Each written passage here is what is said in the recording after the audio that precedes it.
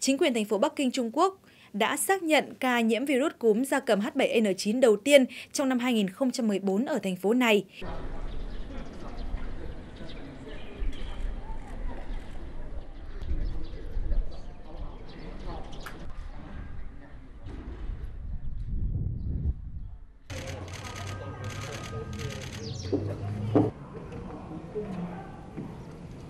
Thank you.